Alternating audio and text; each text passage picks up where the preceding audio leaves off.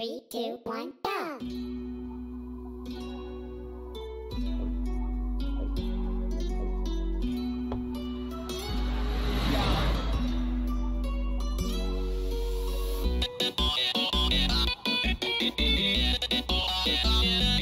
I